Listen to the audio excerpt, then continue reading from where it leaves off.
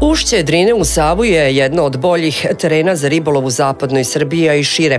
Nalazi se u blizini sela Crna Bara u Mači, oko 5 km od samog sela, udaljeno od Šapca i Sremske Mitrovice po 30 km.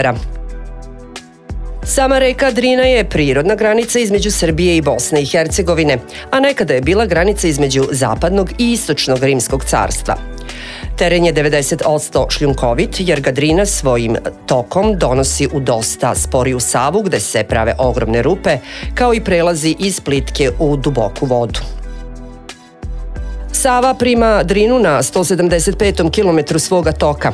Drina joj donosi najviše vode od svih pritoka i to kvalitetne i mnogo hladnije. Dovlači i ogroman nanos koji deponuje u nizvodnom toku Save, stvarajući sprudove i plićake. Posebno pogodna i zahvalna lokacija za ribolov je ušće Drine u Savu. Sportski ribolov je organizovan tako da se tokom cele godine mogu loviti sve vrste ribe koje tu žive, osim u vreme lovostaja, za pojedine vrste po ribolovnom kalendaru.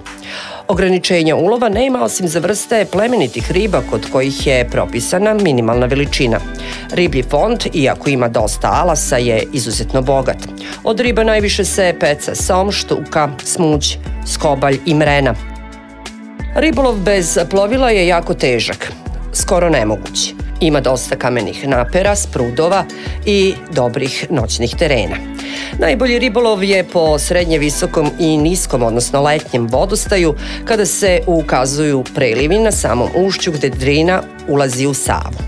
Postoje razne opcije ribolova, ulaženjem uzvodno u samu reku Drinu ili penjanjem uzvodno ili silaženjem nizvodno u Savu nekih 5-6 km nizvodno Savom, nalaze se jako dobri zimski tereni za pecanje smuđa na kedera ili varalicu po srednjem i nižem vodostaju.